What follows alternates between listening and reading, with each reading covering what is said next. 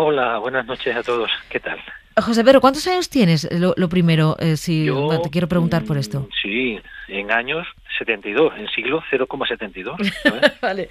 Vale, entonces, cuando tú esto que yo he dicho en la entradilla, lo de fantasear con la idea de irte, pues no sé, cuando eres joven te vas a una urbanización donde todo el mundo pues es como tú, joven, primera casa, llegan los primeros bebés. Vale, si tú habías fantaseado alguna vez con hacer eso, pero con gente mayor, o sea, con gente como, como tú, de tu generación, ¿lo habías pensado?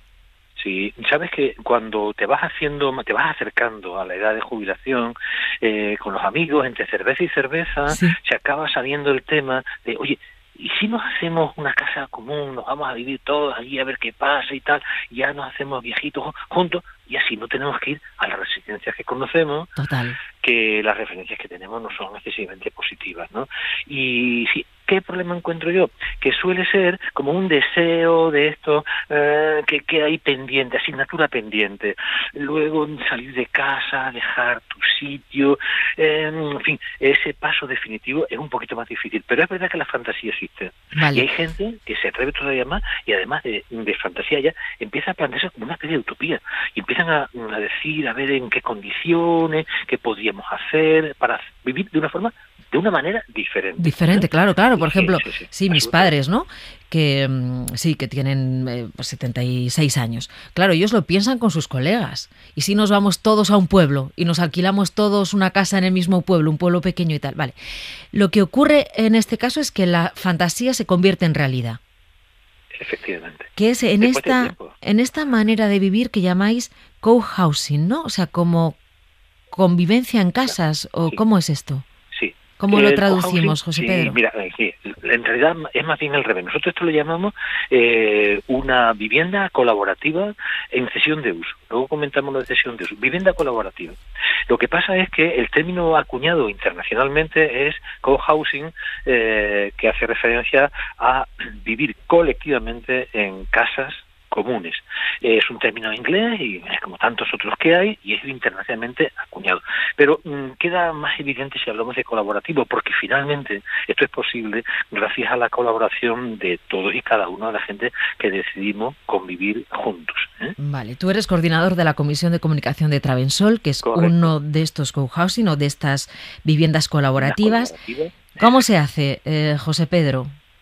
Laborioso. Es, el problema es que es una cuestión laboriosa. La, eh, eh, la idea inicial es muy atractiva, porque fíjate, cuando te planteas, ¿qué, qué pasa en la residencia?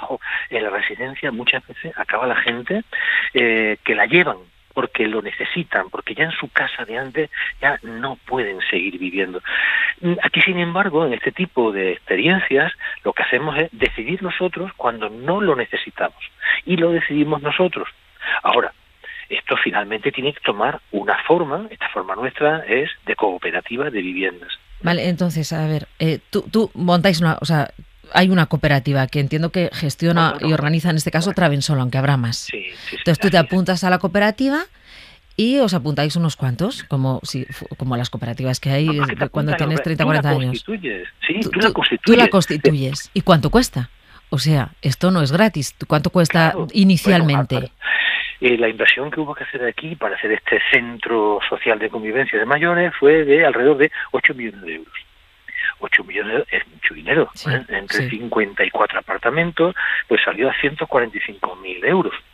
Es que entonces, pero esto es todo privado, quiero decir, tuvimos que comprar el terreno, tuvimos que urbanizarlo, tuvimos que construirlo. Y entonces todo esto nos ha costado ese dinero. Eh, bueno, y luego las infraestructuras que esto lleva. La, Pero bueno, 145.000 por vivienda y tenéis una casa que es como una habitación grande, una zona de estudio, una especie de apartamento grande. Mm, bueno, vamos a ver, es muchísimo más que eso muchísimo más que eso. Mira, aquí tenemos alrededor de 6.000 metros cuadrados construidos, ¿vale? Eh, si tú lo divides entre 54 apartamentos, nos salen alrededor de 124 metros cuadrados por apartamento. Eso es lo que yo he hecho. He, cambiado un piso de 90 metros que tenía antes por, entre comillas, uno de 124 metros que tengo ahora. Solo que la mitad de esos 124 metros, 60 metros cuadrados más 7 de terraza, lo tengo para uso individual, perdón, privado. Yo vivo con mi mujer, con Carmen, Carmen y yo vivo en, en 60 metros cuadrados y 7 metros de terraza. pero los otros 60 metros cuadrados lo tenemos compartido con, el, con los demás. Es decir, que tengo a mi disposición pues, alrededor de, de 3.000 metros cuadrados que comparto con otros compañeros. Porque la idea básica es compartir. ¿Tenéis comedor común? ¿Tenéis piscina? ¿Qué tenéis? Comedor, tenemos, sí, eh, la llamamos baño terapéutico porque no es una piscina eh, plan lúdico, una piscina, eh, bueno, donde posiblemente ahí hacemos actividades de hidroterapias, eh, tenemos un gimnasio, tenemos varios talleres, eh, tenemos un salón comedor multiuso enorme, no sé, yo esto tranquilamente puede tener 800 metros cuadrados. José Pedro, Carmen y tú venderías vuestra casa ¿no? Venderíais la, casa que teníais y para pagar este dinero. Y luego, ¿esto es vuestro? No. Esto, cuando, no es nuestro. Esto, no es, de la cooperativa. Es de la cooperativa. No soy propietario. Efectivamente, cuando dices, oye, pero la escritura, no, no, no, perdona, aquí no tenemos escritura. Esto es otra manera de vivir y también de poseer. De hecho, yo lo único que poseo es el uso de los espacios.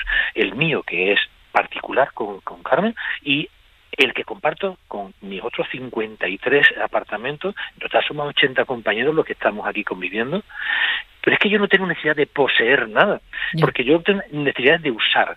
Ahora, ese dinero lo he tenido que poner porque esto es una empresa cooperativa y quien salió del apartamento que yo que yo estoy ocupando ahora, pues recibe esa cantidad que él puso, esos 145.000 que él puso originalmente. Sí, pero, y si, os morís, ¿quién se queda con eso? En caso de fallecimiento, ya los estatutos lo prevén todo esto, pasa a los herederos legales. Eh, los herederos legales tendrían que demostrar efectivamente su derecho de herencia y íntegramente pasa a ellos, salvo que alguno de ellos cumpla las condiciones de ingreso, que se es tener entre 50 y 70 años, y deseara continuar. En ese caso, ah. pasaría directamente a ellos. ¿Y luego al mes tenéis que pagar algo? Pues mira, el aquí los gastos son por apartamento. ¿eh? Entonces los apartamentos son de uso individual o de uso compartido, doble. Eh, yo concretamente con Carmen estamos pagando este mes, han sido alrededor de 1.280, eh, algo menos de 1.300 euros, los dos, el apartamento, ¿vale? no por persona.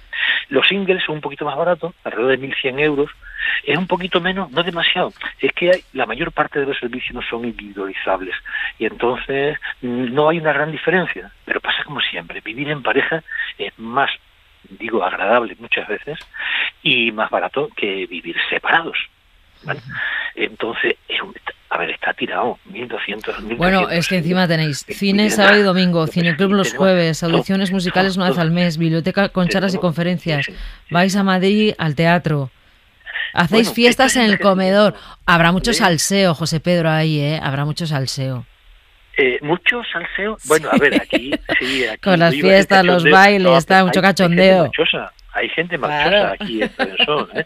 Y mira que, bueno, somos bastante mayores. Yo formo parte, digamos, del tercio inferior de edad, ¿sabes? Eh, piensa que somos 80 personas, que la edad media está prácticamente en 80 años, que el más joven entró con 62 y el mayor tiene ahora mismo 91 años. Estamos conviviendo dos generaciones. Lo que pasa es que a partir de una cierta edad, ¿sabes? Ya eres capaz de compartir con compañeras y compañeros mm, bastante mayor que tú en condición casi de igualdad. Y luego, como tienes una libertad absoluta para entrar y salir, organizar viajes y tal, aquí hay mucha marcha, se sale muchísimo, se viaja mucho, ¿sabes? ¿Qué pasaría, ¿qué pasaría José Pedro, si de repente alguien se convierte en una persona dependiente de los vecinos, de los que estáis en estas viviendas? Eso pasa porque con estas edades, evidentemente, la biología no perdona.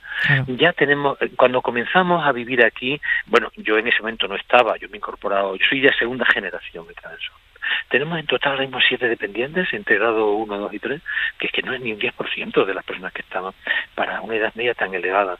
Pero eso pasa. Tenemos una zona eh, sociosanitaria donde están previsto la atención especializada para dependientes particularmente suelen ser talleres ocupacionales, fisioterapias, eh, actividades que, mm, mm, eh, que, que, permiten atenderlo individualmente porque sabes que no es lo mismo un dependiente de grado 1 de grado 3.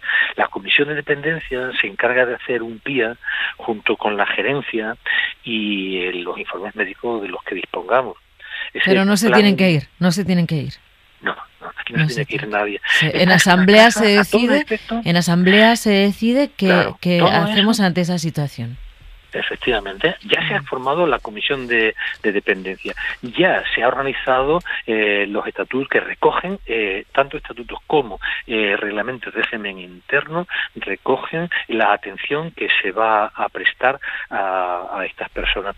Y hasta ahora, el único problema que se nos ha planteado realmente es un problema de, decir, a ver, si esto es una casa, en una casa puede estar una persona toda su vida, llega un momento, si tiene necesidades hospitalarias, eso no se puede prestar aquí porque esto no es una residencia, no es un hospital. Y si hay problemas de demencia de tipo mm, eh, disruptivo, es decir, que altera eh, seriamente la convivencia, esta persona ya mm, hay que hay que buscar un sitio donde sea Atendida, claro, atendida, claro, porque esto es una casa muy viva, ¿sabes? Entonces, mm, eh, no es una residencia, no, no tenemos médicos o enfermeras. Aquí la gente acude a la seguridad social o a las compañías, aquellos que son funcionarios, por ejemplo, ¿no? y han tenido atención a través de compañías, pero se usa la sanidad pública o quien quiere la privada, pero no, no, esto es una es una casa, es un es una cooperativa de viviendas, ¿eh? por tanto aquí no hay médico, no hay. Es verdad que hay compañeras que son enfermeras y que eran enfermeras y siguen siéndolo, ¿sabes? Tienen una vocación increíble. sí, pero bueno, sí que nos ha quedado claro. Es como una urbanización para gente de la misma edad, para seniors solo que está todo muy próximo, efectivamente. Mm. Porque, a ver, hay, hay una cosa fundamental que es la soledad. Hay que intentar evitar la soledad en la medida de lo posible. Eh, ese problema está resuelto en la vivienda colaborativa, al menos está resuelto en Travesol. Mm, ¿Y, y de, de qué manera? Pues porque es que estamos muy próximos los unos de los otros. Eh, la mitad de los espacios son de uso particular y la otra mitad son compartidos. Entonces, tú sales al pasillo y te encuentras un montón de gente con la que tienes que compartir tus preocupaciones, tus historias, tus malestares. Y si necesitas ayuda, si cualquiera te pregunta, oye, voy a Torre Laguna, ¿quieres alguna cosa? Necesito algo de la farmacia, eh, voy al mercadillo, ¿quieres? Bueno, hay un apoyo bastante importante. ¿eh? José Pedro García, sí. José Pedro García, muchas gracias por contarnos eh, cómo se vive en, estas viviendas colaborativas con tu experiencia en Travensol. Muchas gracias. gracias a ti. Esta manera es muy saludable, por favor, muy recomendable. Acercaros, acercaros. Si queréis venir a visitarnos, ya sabéis. Tiene muy buena pinta, te lo digo. Sí, sí. Venga, muchas gracias. Gracias, un beso, chao. Buenas noches, besos.